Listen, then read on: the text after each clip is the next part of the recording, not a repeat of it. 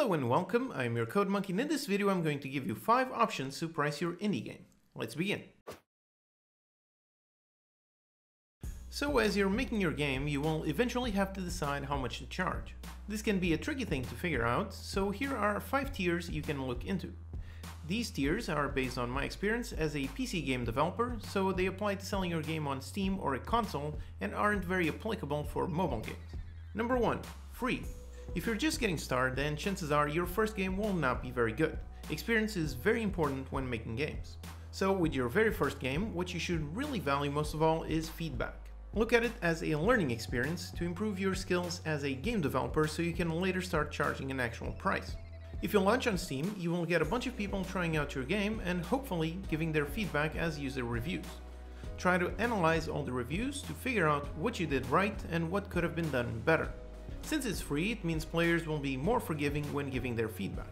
Keep that in mind and don't become overly confident if you do end up with a very high review score. Number 2. 3 to $5. Once you start charging, everything becomes much more difficult. Just because it's a cheap price, don't assume people will go easy on you. While some people will say it's great value if the game is good, you will also get comments from people saying it really should be free. And on the free tier, you don't need much to convince some people to give it a shot.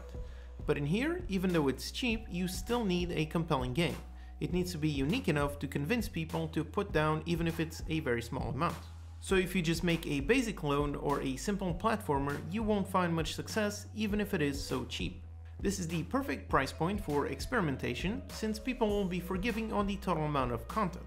What you do have in the game has to be good, but you don't need to make dozens of hours of content. So use this price point to try out mechanics that you would like to later use in a larger game. Number 3. $10 to $15. At this price point it's supposed to be a good indie game. You're competing with games like Terraria or FTL which are $10. In here, people expect a quality experience with at least 10 hours worth of content. So your game should be compelling enough to stack up against $10 competitors while offering something unique. So it should be polished and mostly bug-free. All the menus should be clear and animated, all the characters well designed and easy to control, and the story or core mechanics extremely solid. At this price point you also need a clear marketing strategy. The 3 to $5 price point lends itself to impulse purchases, but in here that no longer happens.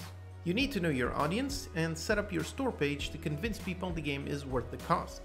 The good news is that this price point is perfect for a solo or small team. If your game is good and you market it correctly, you will be able to make enough money to pay for the cost of the game. Number 4. 20 plus dollars. This is reserved for top tier indie games. Games at this level are usually made by teams and contain dozens or hundreds of hours of extremely good content.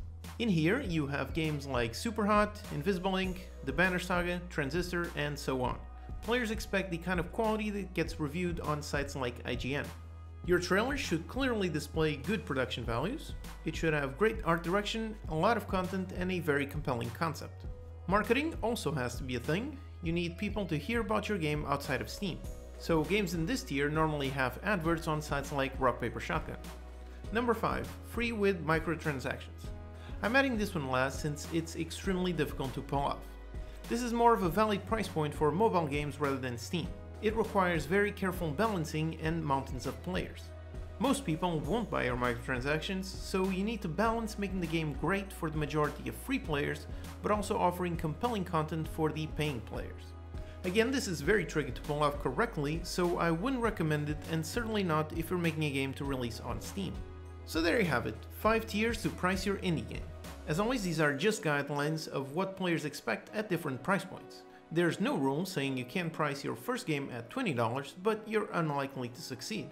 Also, these guidelines depend on how unique your game is and in what genre it's competing in. In a crowded genre like platformers, there will be a lot of competition charging very little. On the other hand, if you target a very unique and very specific niche, you can probably get away with charging more since there's less options.